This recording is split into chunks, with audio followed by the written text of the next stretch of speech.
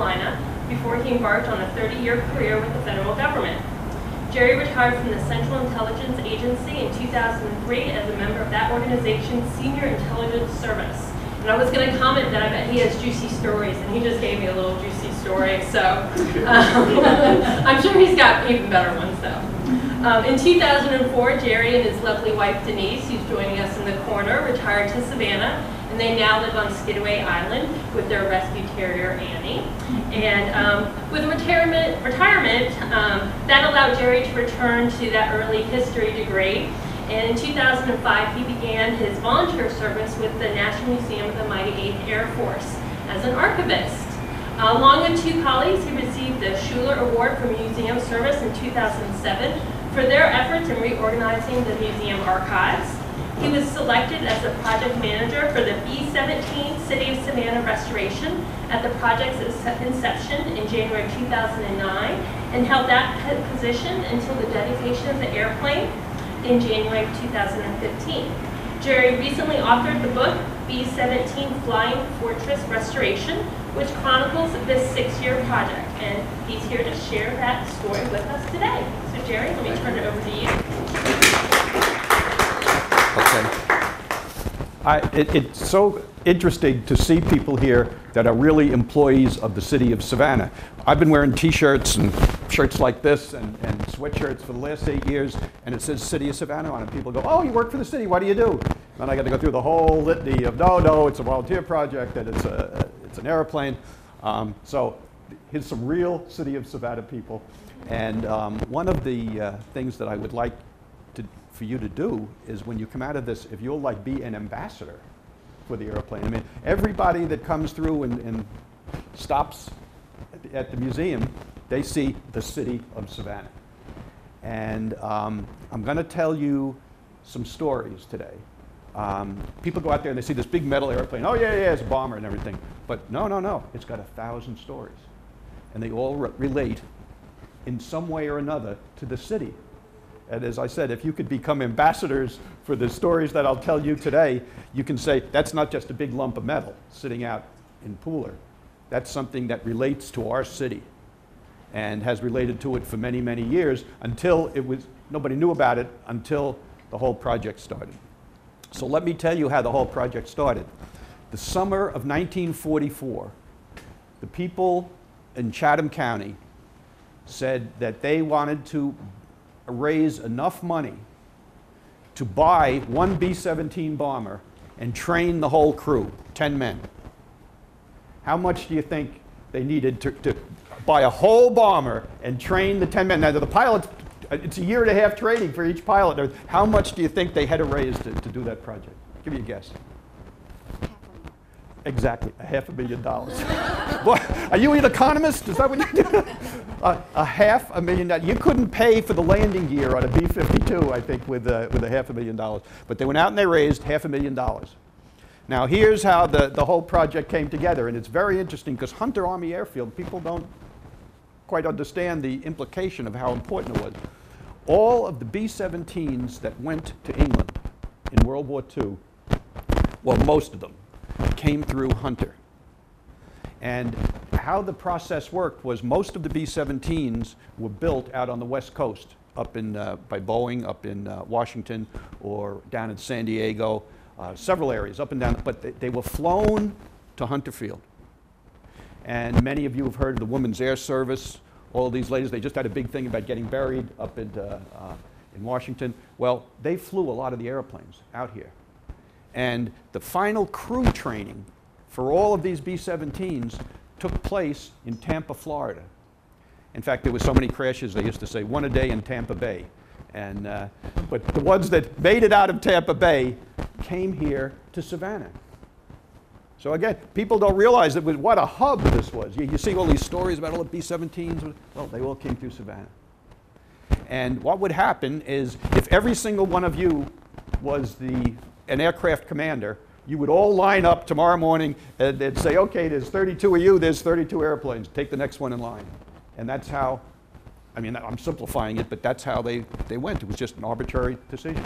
Well, when they got the $500,000, they, they implemented it when the 5,000th plane was going to go through. 5,000 planes. So the 5,000th plane, they picked one arbitrarily. And uh, now this is not documented. We've read all about the, cer- there was a lot of ceremonies when the airplanes left. But the, uh, this is the one that, when you talk to people that were around then, they always tell the story, but it never made the newspaper. They roll the airplane out the day before, and they get the, now here's how the ceremony is going to go, and they get all the crew lined up and everything. And Savannah is spelled with one N on the airplane. roll that baby out of the way, and they bring in a new one. Somebody lost their job over that. And they, city of Savannah, they paint on the side of the airplane. And uh, they had a big ceremony, and um, there was a lot of religious people there. Everything went on, and, and the, the crew the crew was picked because two of the officers were from Georgia. Uh, one was from uh, Ringgold, Georgia, I believe it's pronounced the pilot, and the uh, navigator was from Tucker, Georgia, right outside of Atlanta. So the airplane leaves, and the story leaves Savannah. I'll tell you very quickly what happened. They left here, they went to New, they stopped in New Hampshire, they went to um, uh, Newfoundland, they went to Reykjavik, Iceland, landed, had an engine failure, and so they left the airplane there. The crew was put on other airplanes, went over to England, uh, reunited, and uh, they were assigned to the 388th Bomb Group. They flew 13 missions, were shot down, and um, this was in March of 45. The war ended in May. They were prisoners for three months, and it was a very difficult three months. The Germans didn't have any food to feed them, and they were forced marching them to use them as hostages, and very, very difficult. Uh, one of them was killed in, when his parachute didn't open. The other nine made it back, and uh, none of them weighed 100 pounds when they came home. So, and we've, we've sat with the families and, and, and have these stories on tape. So that was, uh, that, that was the city of Savannah leaving here. The airplane got there a um, month after they did, after the crew got there. And this is very interesting. It went to the 484th Bomb Group. And we interviewed several people from that bomb group, and they said at the end of the war, what a statement to American production. They had so many B 17s that if one got shot up, they didn't fix it. They rolled it out of the way and gave the guys a new one. And the B 17 that came here, the city of Savannah, never, it, it, it never got to the front of the line. So the war ended, and when they were sending crews home, what they did was they used these airplanes. They had never flown a mission. The, the original city of Savannah was flown to Connecticut, then flown out to Arizona and scrapped, and, and that was it. And then the whole story of the city of Savannah ended. Nobody knew about it. It was da, da, da, was you know in the Savannah Morning News archives, and, and it was over. Then, ta-da! After the museum is built, after the 8th Air Force Museum is built, um, the word gets around. Let's get another. Let's get another B-17, and let's call it the city of Savannah. And um, as was mentioned, I was working in the archives at the time, and the, uh, the guy that was running Walt Brown, a wonderful guy, a medical doctor from Savannah, comes in and he says, uh, Didn't you do some project management in your career? I said, Oh, yeah. He says, I got a project for you. Who knew this was more than just a little project? Um, and uh, a long story made short, the last B 17 that the um, Smithsonian Institution had was made available to come down here and be renamed the city of Savannah. And the whole story was going to have to start again. And so when you go out and look at that airplane today, what I'm going to tell you are stories that you can tell people, other people. It's the city. It's, it, it's the city's history. That half a million bucks. Uh, by the way, that junky old 75 air, uh, uh, year old airplane out there, if we wanted to sell it today, would go for 2.5 and it doesn't fly. 2.5 million. It's a little, little bit of increase there. With, uh, I was going to ask you how much and see if you guessed that much, but I, uh, so anyway, so the airplane comes here. They, it's, it's gifted to the, to the museum. And it comes here, and uh, I was the one who was picked with several other, a lawyer. I made sure I brought a, I, 30 years in the government, I would never do anything like that, not bring a lawyer with. So I go up there with my attorney, and uh, we take uh, possession of the airplane. And Walt Brown, the, the, the man that was running all of this, uh, was terminally ill with cancer at the time. And I had told him that when the airplane belonged to us, I would let him know. And so when, after we signed the paperwork, uh, I said to the guys from the Smithsonian, can I go into the airplane? You want to, you know, do whatever you want. So nobody had been in the airplane for 25 years. And it was sitting in a hangar that was open at the top. For circulation purposes, they said, well, what it did, it let in pigeons. I opened the door, and the largest guano supply on the East Coast was inside this airplane. And I had said to, I had said to Walt, I'll call you from the, you know, sitting in the pilot seat. And between me and the pilot seat is about four and a half tons of poop. And I said, geez, I'm, going up there. So I, I tread through this thing, big hole where the ball turret used to be, have to pull a door out of the way. Then I had to get through the bomb bay. And I get into the cockpit, and one of those things, a grace of God, somebody had left a piece of cardboard over the pilot seat, so there was no poop on the pilot seat. But four pound thing that I had to move, move out of the way, and I sat down in the pilot seat and I called, I called Walt my cell phone and I said, Walt, we got the airplane. And uh, you know, I'd like to say he said some dramatic, "Oh, Jerry, this is wonderful," like that, and he didn't. He was speechless, and then he started to cry, and he said, "Bring it home. We're all dependent on you." And every, all of us have emotional things in our lives that sneak up on us. Well, this snuck up on me. You know, he, he said, bring it home, we're all dependent on you. And, and he was a guy who was terminally ill, and this was what he wanted. He wanted that airplane in that museum. So uh, uh, I got pretty motivated after that. And we brought the airplane home. Um, we got in contact with the crew, and so we learned some stories on it with several uh, families of the crew and we, uh, um, and we learned some stories.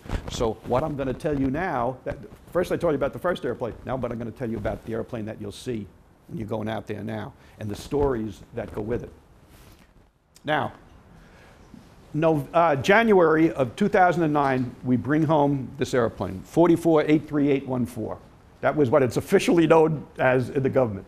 So we bring home the airplane, and in January of 2009, we have three volunteers myself, Jim Grismer, and Marshall Brooks, my, like I said, my attorney. Always, always have yourself defended when you're doing something complicated like this. We had three volunteers. In the time since then till today, 140 people have served as volunteers.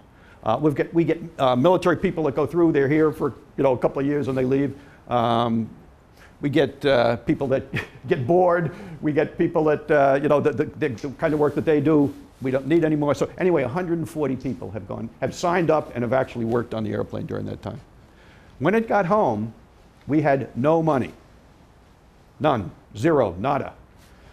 Today, we have multiple donors. And, and what has happened, what kept us going over the years was people uh, who are today in their 90s.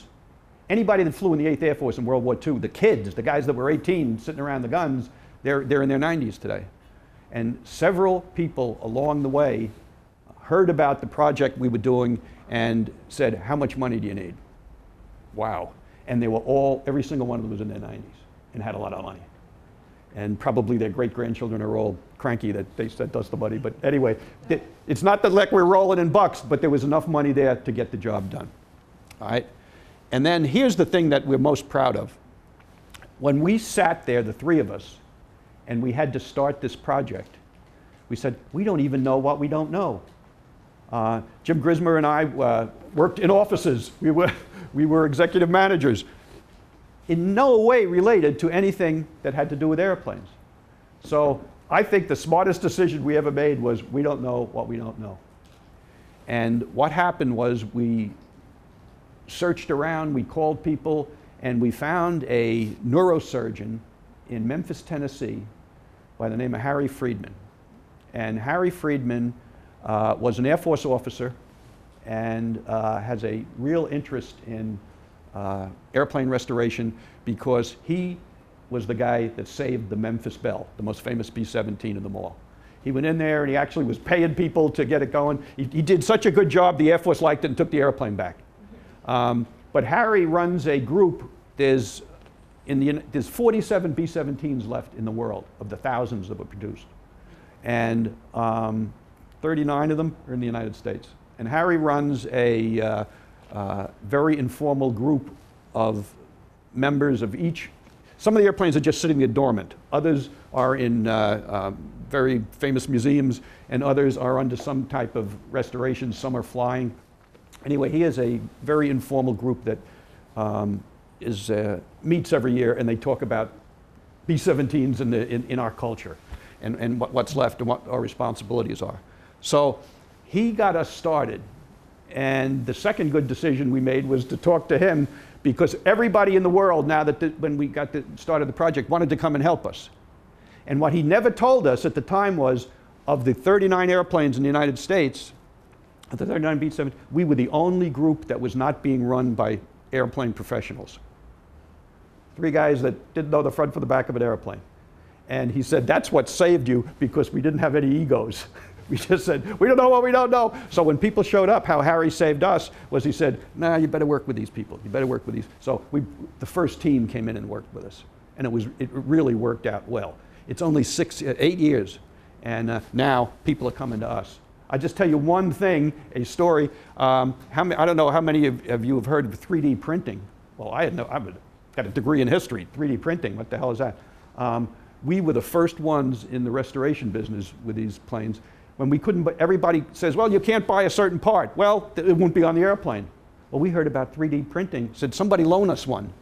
And Gulfstream and Savannah Tech, again, back in the city of Savannah, Savannah Tech sent us out 20 year old interns who sit there in front of their computer and look at this part that's over there. The next thing you know, we they, they take their software and take it out to Gulfstream, and 24 hours later, we get a part back. Now, it's not one you could put in a flying airplane, but it's exactly the way it should be. And the test was we sent them, we only had one uh, control wheel, so we sent them the control wheel, and it came back, including somebody had carved their initials in it. The initials were still on the side of the. so I'm like, whoa. And the guy, some engineers trying to explain it to me. I said, look, I'm a 70 year old history teacher. Please, this, you don't have to waste your time trying to explain this to me. This doesn't work. So that's where we were, and that's where we are today. But yeah, I, we were going to come in November. That's why it says November. So it's not like we've progressed that much into December. Now, remember I said it was the, the airplane was up in, uh, in, in Virginia. The airplane had been, for all those years, multiple decades, in this hangar, crammed in with other stuff. You see what that is behind it? The Space Shuttle Enterprise. And we got there. I got to admit, I really wanted to see the airplane when I got there, but I had to walk over and look at the Enterprise first. You know, that kind of gets you, whoa, you look at that.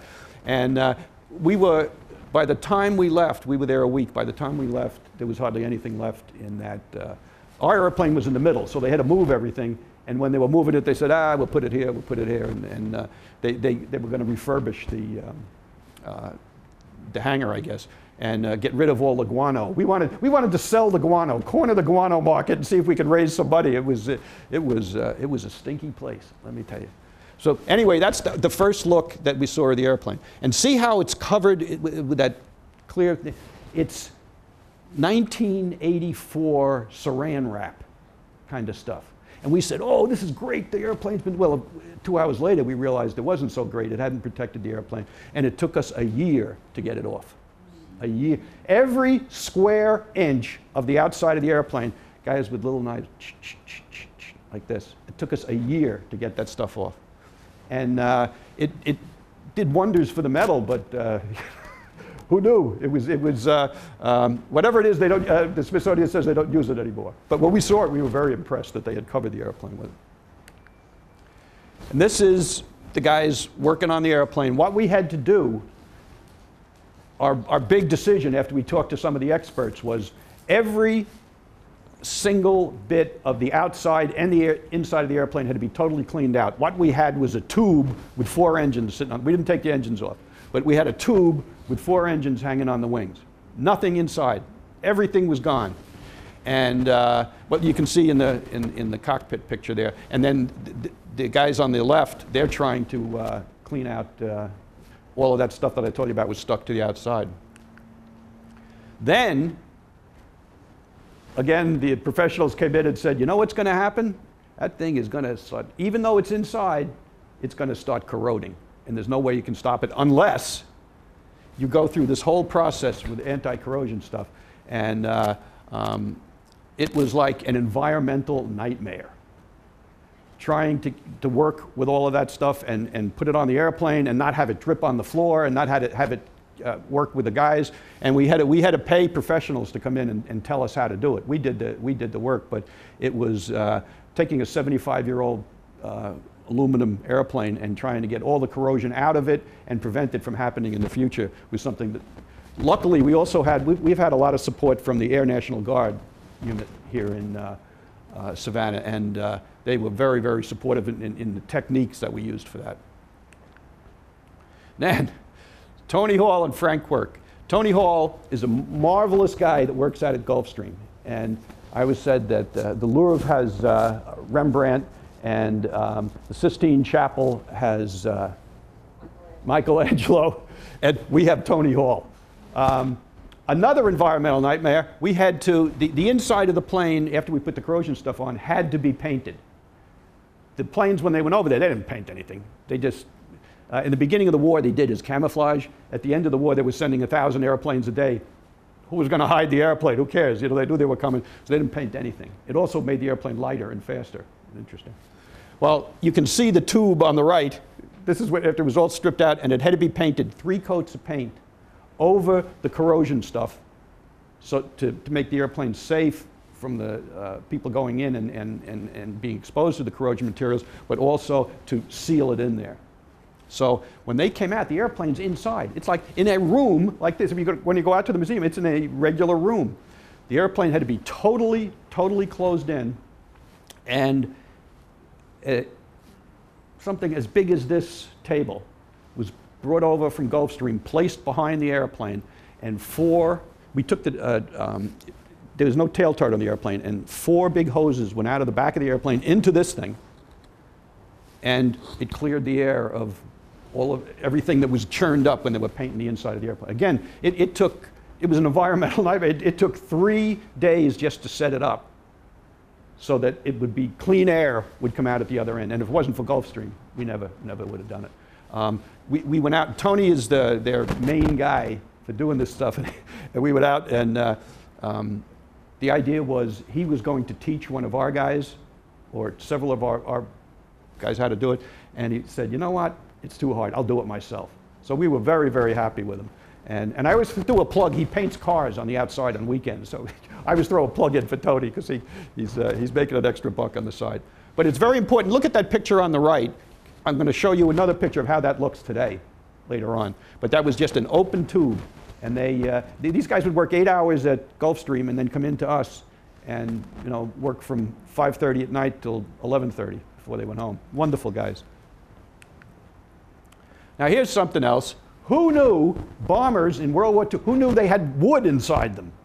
Well, the wood, it turns out, we did some research, is cheaper and it was easy to fix when it broke. Metal, when you hit it, with uh, shrapnel hit it or something like that, would get all torn up, make more shrapnel, wound people. So they put wood. They could replace it easy. It made splinters. It didn't make shrapnel. So there was wood. In, uh, who knew? It, you know, all over the airplanes. Now, um, on the left is the, the total wood package that went in into the airplane. On the right is an ammunition box, and this is just because another story to, to tell you. Ammunition boxes, you can see them as they go along there. When they, when they leave on a mission, every gunner would have ammunition boxes stashed by his position. And then as he ran out of a box, he'd, he'd load another one. And each of those boxes holds the, the stream of bullets in there is nine yards long hence the phrase, the whole nine yards. You know, you've heard the, oh, he gave the whole nine yards? Well, that was, that was where it came from. If a gunner really he gave him the whole nine yards. I always thought it was some distorted football thing or something, but no, nine yards of ammunition in a B-17 in World War II. Now, this gentleman's named Skip Shelton, and he, what a great guy. He was a 19-year-old pilot in World War II graduated from high school in 1943, graduated from pilot school in late 1944. So, I mean, he, right out of high school, next thing you know, he's a bomber pilot. And he was also a fledgling um, artist. And he remained a pilot and an artist for the rest of his life. He became a com- uh, commercial pilot, um, an, an executive pilot when he got out of, the, uh, uh, out of the Army after World War II. And he spent most of uh, uh, the time that he was overseas, every time a new plane would show up, he would be the guy that would paint the, the, the uh, artist work on it. And uh, when he was painting our stuff here, uh, one of the uh, TV stations came out, and a person who might have been a tad naive said to him on television, interviewing him, says, "Well, didn't your oh he said sometimes they wouldn't send me on missions. I'd be painting airplanes." And and this woman said to him, "Well." Weren't your friends in the military mad that you weren't going on the missions and they had to go while you were painting? And he says, Young lady, any day I wasn't getting shot at was a good day. So I just kept painting. So said, Okay. That was, she didn't ask any more questions after that. Um, but he and his wife, who, by the way, was not born when he was flying missions in World War II, he used to point that out regularly, um, they said that they would do all of the painting on the airplane exactly, exactly like it was on the original airplane. We're going, oh, how are you going to do that? He said, send us pictures. Okay? We sent them pictures. And what his wife did, when they came, they had um, cutouts of everything that had to be painted. And uh, um, said, how did, how did you do that? They blew the pictures up and counted the rivets. The letter A in Savannah is four rivets wide and seven rivets high. They counted the rivets. See, you can see the rivets of the airplane there? That's how they did it. Marvelous, marvelous piece of work. And he painted the, the, the, both the uh, nose art and the, and the art on the side of the airplane. And what a, he was a charming guy. Really, he died um, several years ago at uh, age 89, and he drove his Harley to work that day. My kind of guy. And here's his final artwork on the front of the airplane and in the back. When, and if you look at pictures of the original, it is, it, because he, he, measured the rivets. I mean, who, who, would have thought of something like that? But, but, that's a great story to tell people. I mean, you know, whoa, how did they get that right? Unbelievable. Now, the first thing that we got done to actually say it's restored and it's working was the radio room. Uh, when I was talking to um, Harry Friedman, Dr. Friedman, I said, uh, you know, we got all this radio equipment up in the archives and nobody knows anything about it. How do I, you know, what can I do about that? One question says, call the local um, ham operators and then get out of their way. Good advice. We called the, uh, um, oh, I got to think what it's called now. Uh, at any rate, we called the local ham operators. They came out and they restored all, the radio room is perfect. They pictures and everything, and like this little guy here, um, they bought that off eBay for $400 and spent 12 months putting it together. The big problem? It all works with tubes. Who remembers tubes? Nobody even remembers what tubes are, much less you, you got to go and find them. So our radio, our, they broadcast every national holiday. They broadcast from that radio room all over the world. And it was the first thing that was finished. And here's the guy that did it. Guy McDonald, wonderful guy. He's an electrical engineer. And um, the first broadcast, I got to tell you the story. The first broadcast was from the airplane. So we got him a 50 mission hat with his earphones there and uh, a uh, you know an A2 jacket, and he's sitting in front of the, the, and they were broadcasting to the Miss Liberty, which is a B-17 um, down in Louisiana at Barksdale Air Force Base. And it was so hot that day they had to be outside. It was too too hot for them to stay in the airplane. But when they did it, they we made, we made a big deal about it. The TV stations come out, and WTOC has a camera in one side, and WSAV has a camera in the other side. So I was in the room, and I'm, I'm huddled in the bottom so that nobody will see me. And, and this is going to be so neat. Oh, he's going to broadcast. So, Guy, he says, wait a second, Jerry, before we get started. And he takes out his iPhone and texts the guys down in Louisiana. I said, you can't text. You know, I want to hear Roger Wilco. You know what? This is ridiculous. But he, he texts them. They texted back. Okay, we're ready to go. And then they did something that you know that, that appeared on television. Uh, but it, it, was taking technology from this day with 75-year-old technology. It was, it was quite a day. Quite a day. Now, one of the things we're going to talk about, and you can tell stories about this, is we are going to have, we, we will very shortly have, the only B 17 in the world with three operating power turrets that can be shown to the public and will be shown to the public. Um, how they are put together was a marvelous, marvelous ability of local engineers and, and craftsmen to construct them from almost literally nothing. On the left is our tail turret, by the way, the airplane came without a tail turret. The, the tail turret that was on the airplane is in the Smithsonian um, Natural History, uh, American History Museum as a, in, a, in an exhibit for Rosie the Riveters. And it shows two different Rosies working on the, uh, the turret. So we had, to get, we had to get a new turret.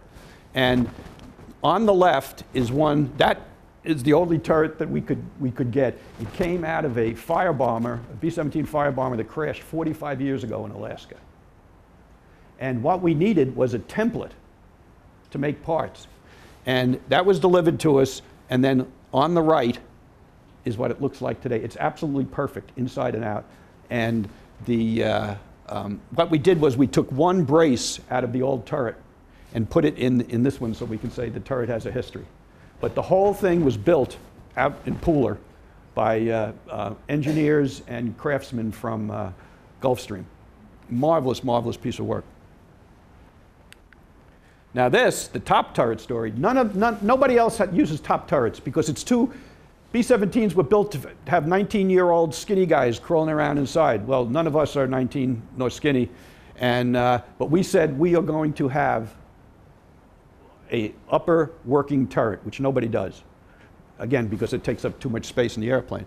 And, um, but we had to find the parts. It would have cost $250,000 to have those parts machined.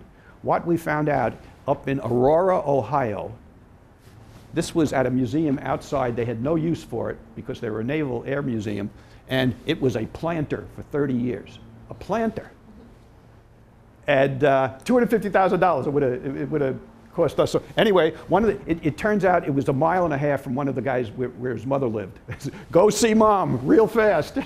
and uh, they, they, were one, he went out and talked to them, wonderful people, and they, uh, not, they didn't sell it to us, they gave it to us. Wonderful, wonderful uh, thing. And, and the reason that we are going to have three working power turrets is because these people were so generous to us. And it took, well, three and a half years of work to actually get it. It's almost ready to function. I mean, it's functional now, but not totally put together, and, and the, the, some parts are being made out at Gulfstream, but it's almost ready to go. And uh, we, we get a picture, a kick out of this. The guy on the left made all of the windows, restored the top, and uh, he is a, uh, was a 35-year uh, master sergeant out at, uh, um, with the Air National Guard here in, in Savannah. And the guy on the right doing the dirty work scrubbing, he's got a PhD in aerospace science. so he, he wanted to work somewhere, we got a job for you, you know? So uh, uh, Mort Glick, his name is, but he did a wonderful job on getting the stanchions totally restored. And then here it is today. There's the stanchions. They're, they're mounted in the airplane, and, and you can see the cap is put on on the left, and we're just months away from this being uh, the last functioning uh, power turret on the airplane. Now, this is, this is a great story. Um, the guy in the middle, Bud, Bud Porter, was a 19 year old gunner, ball turret gunner in World War II in the 95th Bomb Group. And uh, he is one of the last two people serving on the board out at the museum that actually um, were World War II uh, 8th Air Force veterans. And the other two guys are uh, both engineers. Guy on the left, Tommy Garcia, is a consultant to us, and um, guy on the right um, is, is an engineer that works with us. Uh, and what happened was we found out that there's a Hollywood company out in California that they had done the, um, uh, the Memphis Belle, the movie, and they had the ball turret, the bottom turret that protected the bottom of the airplane, left over from the movie. And these two guys went out, talked to them, we negotiated, and we bought the turret as is. But they couldn't resist. See the the- see the, uh, the, the gun barrels there? They they got two pieces of uh, plastic, drilled holes in them so they looked like gun barrels and put it in, and drove 3,000 miles across the country. They said they about 45 cop cars were chasing him at one time or another. Said, what the hell do you have on the back of that, uh, that truck? But we, we got that totally complete turret and, and in- inoperable. It had been sitting for years and years and years, but it's fixed, and I'll show you what, what happened to it, and, and it's going, in, it's in the airplane now and functioning. That was the day on the left, that was every single part that we had manufactured or taken out and remanufactured that was about to go into the turret. And uh, we built the thing on the right, we called it the gallows, and, uh, and hung the turret and, and, and mounted all the parts in it. Um, but it's even, oh, let me show you right here. Oh, wait a second. Right here, you can see little designs. In the movie, I don't remember from the movie, but apparently in the movie, the ball turret gunner was the ladies' man of the crew. And he had pinup pictures on here, and they were still on there. So we put preservative on them, so they'll always be on, the, the pictures that were in the movie will always be on the, uh, um, uh, will always be on the ammunition cans there.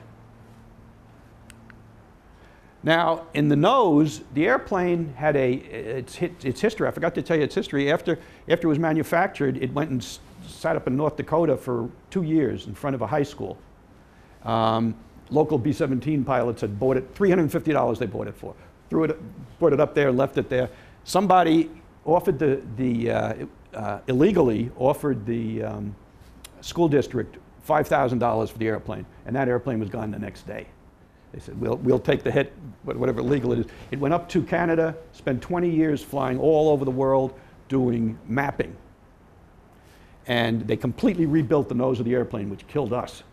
But they completely rebuilt the nose of the airplane with big, big uh, cameras, and they would do mapping. They went all, all over. Was, and then it spent 10 years as a fire bomber, and then 25 years uh, in storage before we got it. But anyway, we had to completely rebuild the nose because it, it, none of the stuff that we needed to put in there, a nose turret and everything, nothing would fit. So that's on the left, that's what, uh, when they were just putting it back together. And then on the right, this is the finished, uh, the finished nose. And, and see, you can see the letters and, and how, how it came out and everything like that. Just amazing, uh, the work. But, and, and uh, that's a brand new, whoops, that's a brand new um, uh, nose piece that we had to have manufactured because there just wasn't, wasn't anyone around. And we traded that nose piece for some tires. I'll show you later. This, this is just a, an example I put in here to show you the technology, the, the, the, the minute, excellent, superb work that they did. We put a whole, the workers, not me, put in a whole oxygen system. Nobody is ever going to see the oxygen system, but we wanted to say the airplane was complete. So they, this is the, the diagram that we got from uh, Boeing. And over here, every station 10 times in the airplane, every station has one of these. And that's the uh, oxygen flow in, and then uh, the gauges, and then this is a, called a bailout bottle. The plane got hit and they had to jump. If you're 25,000 feet, there's no oxygen. So not only do they have to get their parachutes out and everything, they had to take this with them, hook it up to their oxygen mask, and jump. And uh, so, but they, it's installed in every place, every position for the men in the airplane. And that's over here that shows how complicated it is. We didn't have to do that. The guys said, we can do it, so they did it. It was wonderful. Remember the tube I showed you before? Well, this is what the tube looks like today, and that's why we can't have people prancing through the airplane all the time. Uh, it's the waist gunner's positions. There's gun here, gun here. Those are the uh, nine-yard ammunition boxes. That's the ball turret, and those are the two ammunition cans with the uh, pinup pictures on them. And there's even a bag, a canvas bag made down here for, with the uh, uh, shell casings would fall down uh, um, after the gunner, you know, was firing the gun. There's oxygen on the top of the ball turret, and then in front of that is the um, radio room. Uh, and then the floors are exactly like they were built into the original airplane. So the, the, the technology, the, the, the technical work inside the airplane is superb. And one of the things we plan to do is to show that off to people. This shows you what the cockpit looked like when, after we stripped the airplane. Um, you can see See the different, the different textures of the, of, of the airplane? This one, this one, this wheel was made by uh, um, Gulfstream, and uh, this is one, that, the original one on the airplane. But this is what the cockpit looks like today. Now, the last two things that we had to do as big purchases um, came out. One became a trade. Right over here we have knobby tires. No big deal, except for they were made in 1945. Where do you find knobby tires? We had real ones that could work on an airplane flying. We traded with a flying B-17, and they had these sitting in the back somewhere. And they gave them to us. We gave them real tires that they could use on the airplane today, and they also had that uh, nose piece made for us. And then this, another Hollywood thing. Look at this. It's a 500 pound bomb that went in the airplane. It's made of plastic. Not, doesn't weigh 500 pounds. It's made of plastic. But it's exactly as they were in 1945. Who would say they could make that? Hollywood. So we, we have a whole stock full of bombs that we can, uh, we can use for that. Now, what's going to make us special? We have, we have a completed interior, and we're going to present it to the public with state-of-the-art technology. Um, it's going to be a little bit in the future, but you saw all that work there. There's no way that we have to, we could spend a half a million dollars and do all that work and nobody sees it. And you can't have people walking through it. It's just too difficult. And, and the, the few remaining veterans that come back, they can't get in the airplane. So we've got a state-of-the-art plan put together by the radio room guy, the electrical engineer, which will show off every bit of the interior to the outside. And then we're going to have three operating turrets that we're going to demonstrate to the public. Of all the B-17s left in the world, some of them claim that their turrets work, but they don't show you. We're going to have it. So you can tell people that they can come to the city of Savannah and see the city of Savannah. Got to go out to Pooler, but and they, we will have in the future three working power turrets, uh, and it'll be the only the, the only B-17 in the world that will have them. So there it is today. A, whole lot different than when I first saw it up in, uh, uh, with the guano all over the place up in, in uh, Virginia. So I've told you a whole bunch of stories about the airplane. I'm going to tell you two more because they're in, in, in my closure, because they're very, very important to us. The one is that we realized there was more to this story than bringing out the glory of the men that fought in World War II.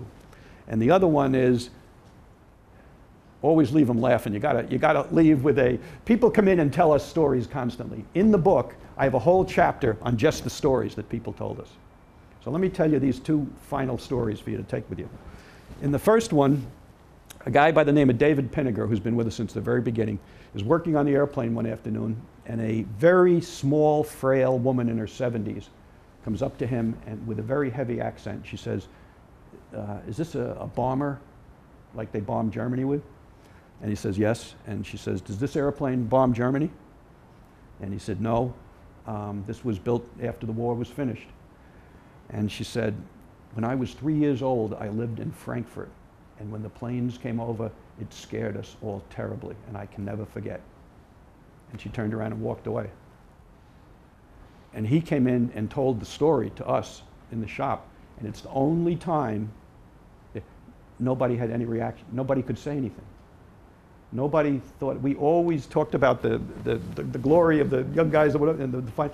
We, we had never thought about the innocent little girls that was three years old. And one of the things when we started talking, one of the guys said something very important. He said, I was three years old in 1945. It was a very, very moving moment for us. And, uh, you know, we had to sit back and kind of say, whoa, you know, that's, uh, thank God we were sitting here wherever we were. And, and most of the guys in that room were the same thing. We were two, three, four, five years old when that lady was there. Now, let me tell you one final story. And uh, particularly those of you who have, have, served or, or, friend, or, or aware of the military, you'll get a kick out of this. Um, anybody that shows up at the museum who's a World War II veteran gets a special thing to wear, and they don't have to charge. You know, we don't charge them to get in. And when they get to the airplane, particularly 8th Air Force guys, it's your airplane. What do you want? You know, we'll, we'll do whatever you want. So I'm sitting there in the office one day, and a guy comes in. One of the guys comes in, and he says, "There's a guy outside says he's a, a, a World War II 8th Air Force radio operator, and he wants to see the radio room." "Okay." He says, "Yeah, but he's not wearing one of those uh, things around his neck. And I, I don't know. I don't know what to do. So I go out and I talk to the guy, and the guy says, "Oh yeah, come on, let me see the radio room and everything." So uh, I take him into the radio room, and he obviously knows what he's talking about. He sits down. He says, "Oh, you got it right. Oh boy, this is neat. Look what you did here. Well, you know," um, and he's, he's talking about where the gun was and everything, and he's talking. He, he knows his stuff. So we, we have a conversation, and we're getting up to leave, and I have a form that we have all veterans fill out when they come in. I said, gee, could you, could you fill out this form, please, you know, before you leave? And he goes, ah, I'd rather not. So he gets out of the airplane, and he's walking away, and the guy with me, he's looking, gee, that's kind of weird. And the guy turns around and he comes back. And he says, I know you, what you're thinking. Why, why wouldn't I sign that thing? He says, let me tell you my story.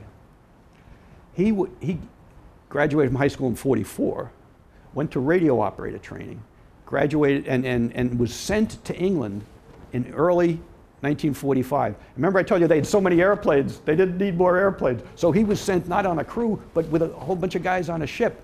So they get there, they're not attached to anybody, nobody knows them. He gets sent to some bomb group, which he didn't tell me about, and uh, he's got no crew, nobody knows him. So they assign him as a standby radio man, and when the, and an airplane leaves and there's a radio man that can't get on the airplane, uh, he goes and substitutes for them. So he flies two missions. On the second mission, something happens which he doesn't make deal, uh, any deal of. He gets into an argument with the pilot. He ends up getting court-martialed, busted to private, and they take him off flight status. Well, he doesn't know the war's going to end in three months. So he's taken off flight status. This is wonderful. He's like, I don't care. You know, I'm not going to get shot at. This, I don't care if I'm a private. You know, wait till the war's over. So he's sweeping hangars. That's his job. He's sweeping hangars. The war ends. They start sending guys home. And every day, an airplane leaves and goes back to the United States, and the seven senior ground crew go on the plane. So he says, I started to do the math. He said, I was going to be the last guy on the base. I was going to lock the door. Nobody cared about him. He was uh, disgraced. He was a, a private. He's sweeping the hangars. So he looks at the planes going back, and one of them's going to uh, Boston, his hometown. So he goes and he talks to the pilot. And the pilot says, I understand, son. He says, Here's the deal I never go aft of the cockpit. If you're on the airplane when it leaves, I could care less. Talk to Sergeant so and so. You know how the military works. So he goes and talks to Sergeant so and so. And as he says, some money exchanged hands. And when the airplane leaves, he's in the back. So they land in Boston, gets his duffel bag. Thanks, guys goes, gets in a cab, and goes home. His parents answer the door like they can't believe it. So he goes inside. He says, and the next day, I went and got a social security card and went to work with my father and worked for that business for 69, 68 years. And, I, and I'm trying to process this, and he says, and I never got in touch with the Army again. I've been AWOL for 69 years. And the guy that was with me turns around and looks at me Do you think that's BS? I said, Who cares? What a great story it is. and it, I, you can tell it wasn't the first time that he had told the story either, but it was, uh, I, I, I, I used that as an example at the end to, to say, you know, there's a million stories attached to, to all these airplanes. And I want you to think of the airplane out there not as a piece of metal, but as, as a million stories. And, and uh, um, it was, what a- an honor it was to be part of this, particularly when these guys would come in. And uh, we spoke, the last time that I spoke uh, to a group out there, it was, to, uh, excuse me, the, when I spoke to this group out there, it was the last time the 8th Air Force Association was going to have their World War II um, group here. And without even thinking off the top of my head, I said, This is an honor because we're your children and your grandchildren. Oh, whoa. They, that really hit the number. And I didn't even think, like, I'll think something dramatic to say, but, and we were. Every single one of us are either the child or the grandchild of, a, uh, of, of somebody that did this. And so um, that's our story. And I hope that you will, as City of Savannah people, relate to the City of Savannah out there. And, uh, um, and we'll go from there. Is there any questions? Where did you do all the work? Where was it restored at? Excuse me? Where was it restored at? As far as, you know, where else in Savannah were you put it together? Um, it was, we, we arrived at the museum and it was on four trucks. And um, they rolled, rolled it into the, they rolled the fuselage into the museum. And then everything else came in as needed. And uh, um, it was a crew of retired Navy NCOs that did it. And they're, they're very, very well known. And uh, it was the first B-17 they ever did, so they were very excited about it. Uh, but they took it apart up in Virginia, came down in four trucks. I tell you, an interesting thing, never would have thought of this. Every state that we went through, from Virginia to Georgia, had to give every truck a license. And we hired some guy, and it was $10,000 to get them. I said, everybody, $10,000 to get the. It, if it was 100, it would have been worth it.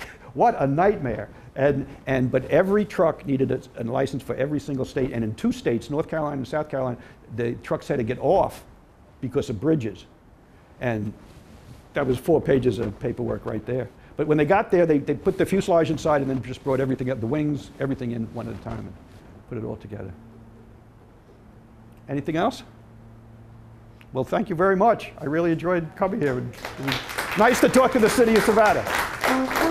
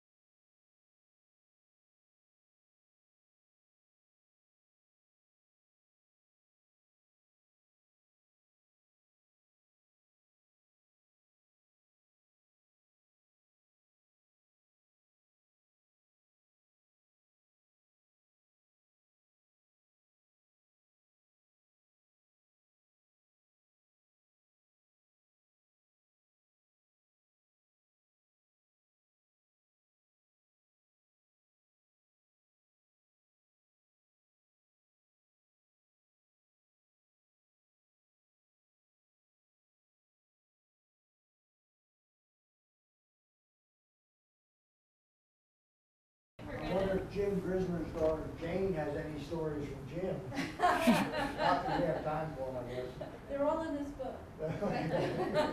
So Jerry's book um, is available when we're done with the program for anybody who wants to purchase it. And all the proceeds are going to go to benefit the ongoing maintenance of the B-17. And I'm sure he'd be more than happy to sign it for you. So see him at the end if you would um, are interested in that. Um, so we're going to switch gears now, and we're going to um, do a really, really short uh, little program introducing you to George Ganem, and then we'll walk over across the hall to look at the little exhibit for those of you who can stay just a few minutes. Um, if you aren't familiar with George Ganem, I just wanted to take a little bit to talk about him as we approach the anniversary of Pearl Harbor. So, so George Karam Ganem grew up in Savannah. He graduated from Benedictine Military School in 1938. In 1939, he joined the United States Army Air Corps, and he was soon stationed with the 17th Squadron, 18th Air Base Group at Wheeler Field in Hawaii. He rose to the rank of staff sergeant and worked in communications.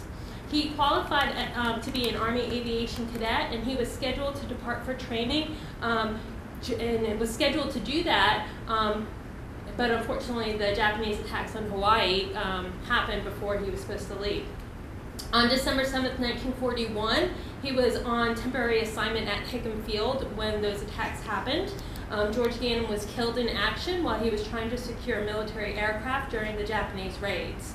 Um, after Pearl Harbor, Ganem was recognized not only locally, but in regional, Catholic, Syrian American, and even national publications for his um, actions during those attacks. His remains are- buried in the National Memorial Cemetery of the Pacific in Hawaii, which is commonly referred to as the Punch Bowl. Um, but there's also a memorial grave marker in our own cemetery here at Bonaventure. George Ganem is um, recognized as Savannah's first World War II casualty. Um, there's a proclamation that I have a copy here that was passed at the last city council meeting by our mayor and council. It proclaims um, December 7th, 2016 as George K. Ganem Day here in Savannah. That is Pearl Harbor Day, but this year we're going to celebrate it also as George K. Ganem Day. That is to raise awareness of Ganem sacrifices, um, but also of all our World War II casualties from Savannah and all of the World War II veterans that um, fought in, in World War II and then came back. Following his death, George's family received his personal effects back from Hawaii, so those things that he left in his footlocker and didn't come back for. Um, for years, his mother saved these items along with mementos from his childhood and other items that represented George's personal life and his military career. After George's parents passed, this collection was maintained by his younger brother Michael, and then after Michael passed, um, by his son, um, George's nephew Joe. Joe donated this collection to the city's municipal archives last year um, after determining it was time to find an appropriate home where the collection would be preserved and accessible to the public for future generations. Um, so it's now the city's responsibility to make sure that these items are available um, for many years to come. The collection includes items that reflect George as a student at Benedictine, as a young man growing up in Savannah, records that trace his enlistment in the United States Army Air Corps and rise to the rank of staff sergeant, um, records um, that reflect his training in communications and desire to be a pilot, correspondence with Bishop O'Hara, and artifacts that reflect his strong Catholic faith, as well as memorials that came in the, to the community, came from the community to his family after his death. Um, for me, the items that touched me most were his box camera and photographs. George was an avid amateur photographer, and his photographs include those that um, he took in the 1930s that reflect the Savannah he grew up in, um, as well as images from his journey to Hawaii and those of carefree times in Hawaii before the attacks. Um, and also, for me, one of the most important pieces was a flag that the city, through Mayor Gamble, presented on the first anniversary of Pearl Harbor to his family. And so the family kept that flag for 74 years, and it's now um, part of this collection. Um, Megan Kirkhoff, sitting right there, processed the collection and she prepared the physical exhibit. And Kelly um, Sokovic, another archivist with us, prepared the online exhibit. And I was just going to ask them to say what, to them, was the most interesting or touching pieces in the exhibit. Or um, I should say in the collection. Um, well, for me, when I was going through the collection, I found um, his financial notebook where he kept his records, um, everything that he bought, he wrote down. And two days So when I saw that, I was pretty connected to how close it was Kelly? Um, so of course there's a lot of his military history, but then also he was a 22-year-old young man living in Hawaii. Um, so like his bathing suit is in the collection. There's photographs from like attending a luau. So you kind of get both sides Yeah, and you can see some of those pictures here. So I think one thing all of us can agree on that um, he was a handsome and vibrant young man, and he really cut down in the prime of his youth. He was only 22 years old when um, when he died. Um, the and here. Um, you know, the picture in the middle, he's on a ship. The picture on the right, he is in Hawaii, and there's some very playful pictures with him and some other soldiers that you'll see in the exhibits. Um, the George Karam Ganem collection is now open to the public for research through the library and archives here at City Hall. Um, there's a handout on the corner which has all the, um, the, the URLs, but our full finding aid and inventory, that's the, the guide to the collection, is available on our website. So you can see what is in the collection before you come in to use it, or if you want to tell other people about that. Um, and then in honor of the 75th anniversary of Pearl Harbor and of the loss of George Ganem, we've created two exhibits. One, the physical exhibit, which we'll go see, and then one, the virtual exhibit. Um, the physical exhibit is going to be on display through the end of 2017. The virtual exhibit will be up indefinitely.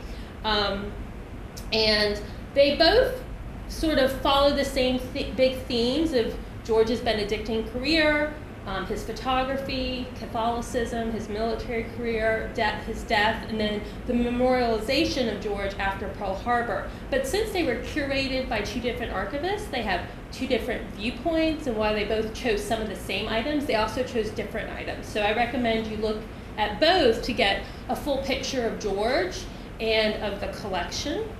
Um, and so, um, I guess, Doug, you weren't able to get our 1938 classmate with us today, but there are some classmates of him. Do you want to say anything about Well, that? yeah, uh, George Herbie Griffin Jr. was classmate of 1938, and he went with us yesterday for the Pearl Harbor Remembers at the 8th Air Force Museum.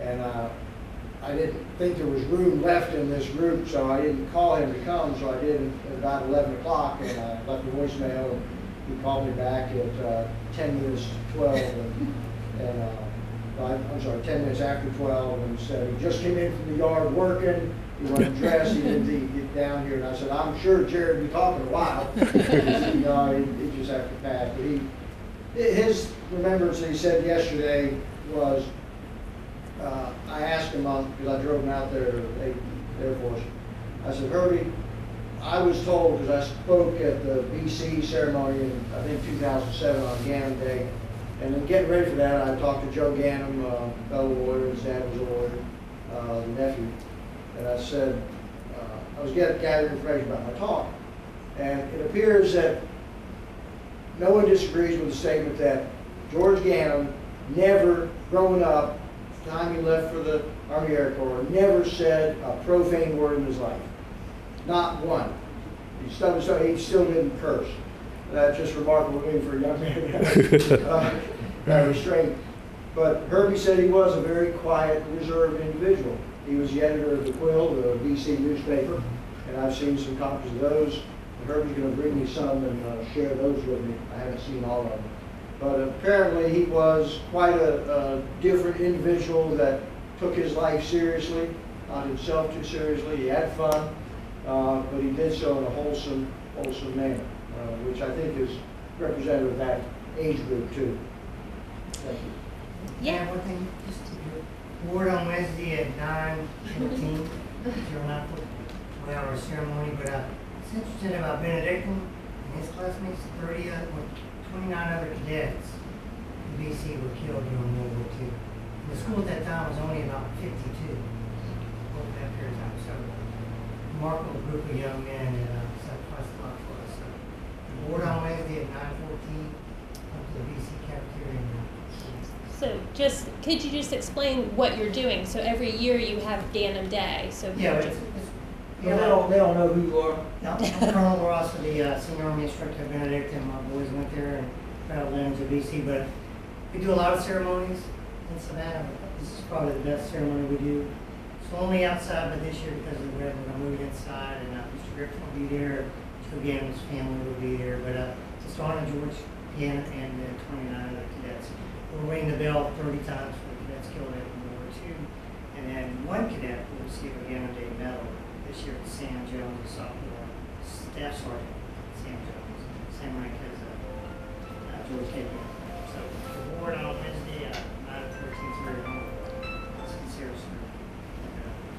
Thanks for inviting me. If I'd known this, I'd have brought some more cadets. Let me say one other thing that I've learned through the process, correct me if I'm wrong, Brian. Uh, There were some cadets who just quit school and went in.